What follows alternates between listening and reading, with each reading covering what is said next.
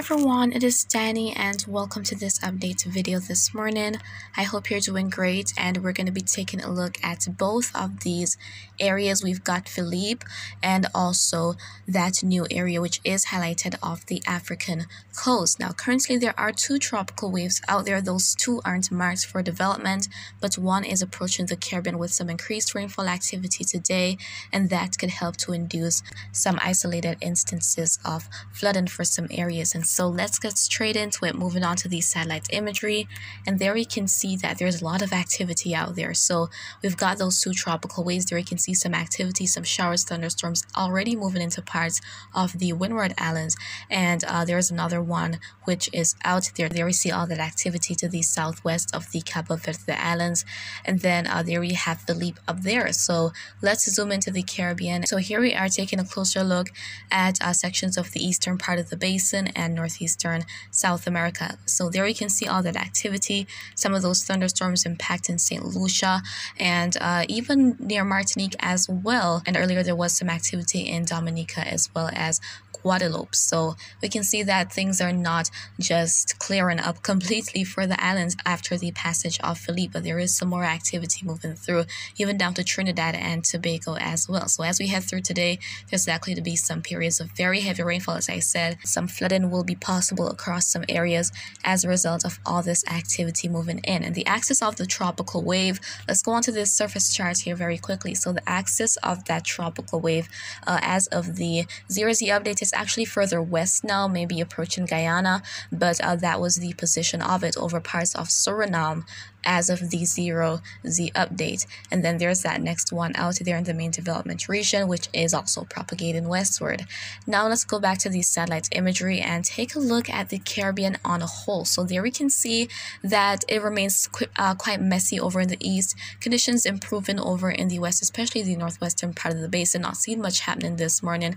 A couple of showers and thunderstorms near uh, Little Cayman and Cayman Brac, and even across some spots in Central America, going down to northern South South America and uh, even for the Turks and Caicos Islands and sections of the Bahamas, Hispaniola, but we can see that all that activity is clearing up and even for Puerto Rico, the Virgin Islands as well.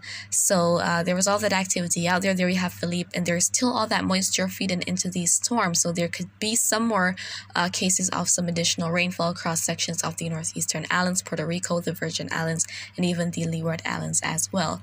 And the ABC Islands actually recently received quite a bit of rainfall. I saw the comments from you guys in Aruba, Curacao. You can let me know what's happening there now, but there is still some activity moving through. Let's go on to the rainfall forecast from the Euro as we're going to be heading through today into the very early morning hours of tomorrow. And as we see more of the shades of oranges and reds, even to that burgundy and those purples, the rainfall amounts are increasing. And uh, there we can see that trail of all that rainfall activity expected headed to the Caribbean. And we're seeing a lot of those shades of red. So over an inch of rainfall across most islands, especially to the Windward Islands. But there could even be some higher totals in some spots. And that is what could trigger some flooding. So from Trinidad, Tobago, Barbados, even Grenada going all the way up through to around Dominica, Guadeloupe, thereabout, there could be some substantial rainfall due to this uh, tropical wave. And again, there could be some very heavy rainfall in some areas, which might trigger flooding. For the Leeward Islands, not as much rainfall, but uh, there could still be some heavy downpours in some spots. Headed to Puerto Rico, the Virgin Islands, again, all that moisture feeding into Philippe, so there could be some additional rainfall. And there we see those very high totals associated with the storm. The good news, all offshore right now, because uh, we know the damage that it did in the Caribbean, especially as it relates to all that flooding. Now, as we head across the Greater Antilles, the rest of the Greater Antilles, uh, Hispaniola, heading to Jamaica, Cuba, there may be some uh, showers and thunderstorms popping up in some spots this afternoon, maybe with some heavier downpours, and also in some islands of the Bahamas, the Turks and Caicos Islands, maybe even into Florida as well, and the Cayman Islands. And then over in Central America, there could be a lot of heavy rainfall especially near the Pacific coast of the various territories. Same story as we head to northern South America. There could be a lot of heavy rainfall as we head through today, uh, maybe for some parts of northern Guyana and sections of Suriname as well. But for most of the Guyanas, it should be a pretty sunny and hot day today.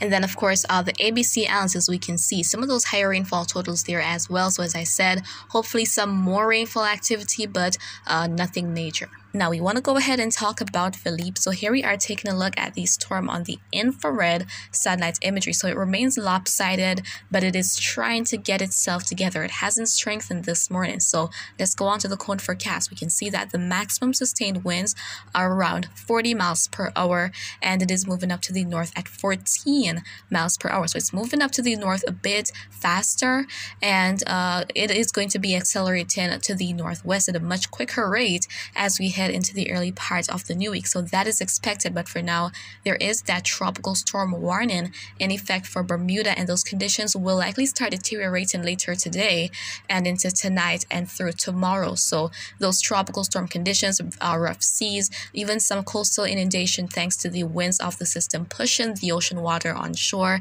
the periods of heavy rainfall, which might cause flooding, and even those gusty winds as well can cause maybe a bit of damage to very weak structures, even some down trees and power lines as well. So there's going to be that chance of that power going out. So uh, those are likely underway. So please continue to stay safe, guys.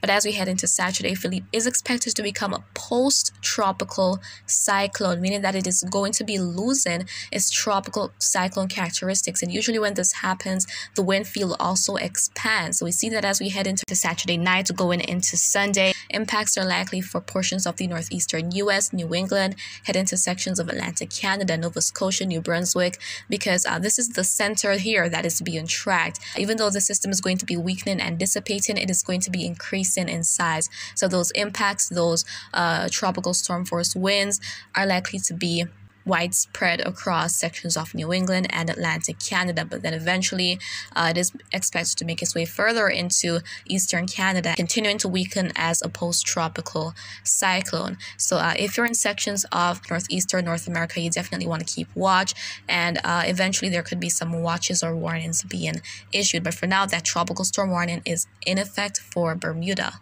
Now, uh, go into this new area which is highlighted. So, this is not for any of the current tropical waves, but a future wave which is to emerge off the African coast. Here we can see that there's a 30% chance of development, and this new area was highlighted last evening. So the chance has increased a bit, but um, even though we're seeing that this would be moving on a westward track, models are eventually expecting that it will be curving up because we're going to have all these low pressure systems making their way out of the US, all these fronts, and uh, that is going to be disrupting that high pressure out there. So there's not going to be that uh, strong high pressure area. So uh, with it being displaced further east, it being very weak, then these systems won't be pushed uh, to the west so much, but they could make that curve up to the north and remain out there, not being a bother for the Caribbean. So models have been very consistent about that. And uh, if that consistency prolongs, then eventually that will be reflected on the graphical outlook from the NHC. So the next updates coming this morning. We'll see uh, what it is showing even this afternoon as well at the 2 p.m. update. But for now, a tropical wave is to come off Africa, and that one could try to develop into something. Now let's see how strong models are showing it. So let's head on to Euro, and this is as we head to next Thursday. So additionally, uh, if you watch my previous updates, you would have seen where I spoke about that expected storm in the Eastern Pacific Pacific that would make its way over Mexico, we can dissipate remnants, move into the Gulf, and try to develop. So Euro is definitely showing all that moisture increase. And regardless of seeing a tropical storm develop over there, if we're talking about an area of loss of moisture, there could be a lot of rainfall in store. And as we know, that can cause its problems. But there we can see that low pressure area off the African coast eventually curving up. The Canadian model is also expecting that we might see some development of the system same time here as we head into Thursday. Thursday. But take a look at this. As it strengthens, it moves up. There's that weakened area of high pressure, so it has the opportunity to make its way up to the north.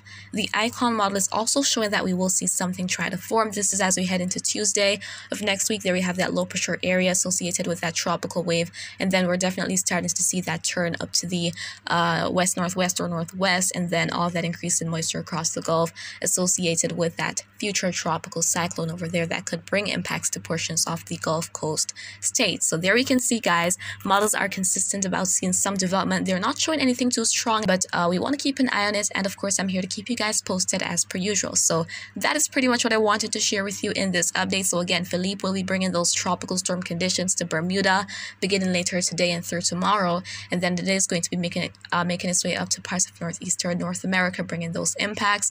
And uh, there is that new area highlighted out there for some development, 30% chance as of right now. And then uh, for the Caribbean, there's a tropical wave moving in, and that is likely to increase rainfall activity for the Lesser Antilles or most of the Lesser Antilles through today. And there may even be some cases of flooding. So please stay safe. And of course, I will continue to keep you posted. So that is pretty much it for right now. And I hope you found this video to be quite informative. But if you have any questions, please do leave them in the comments. As always, I'll respond once I get the chance to do so. And remember to be weatherwise.